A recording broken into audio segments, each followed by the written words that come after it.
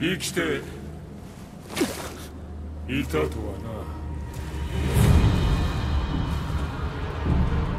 な。しかしいいところに来た。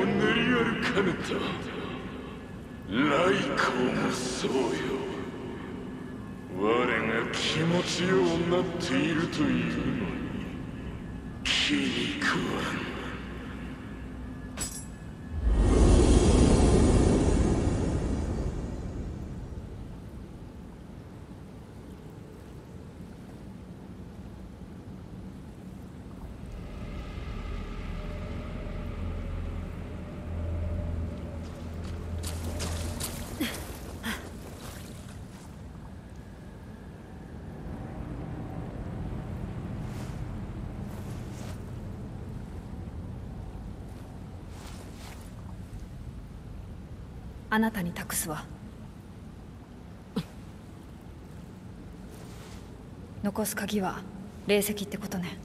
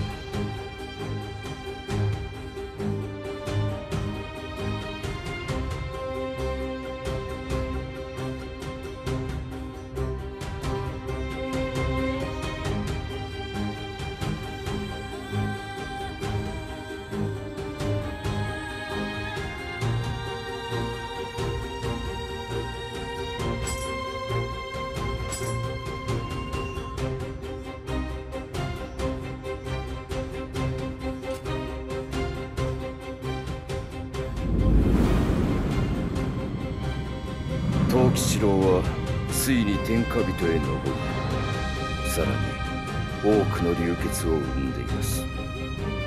無名殿の言うあやかしを滅ぼす刀取り戻すには大量の霊石がいるとか。霊石を用いるは節操の案ずる道ではありますが毒は毒をもって制すしかありますまい。藤吉郎の本拠。今日の呪落台は霊石を集めて建てた城。打って出る時が参りました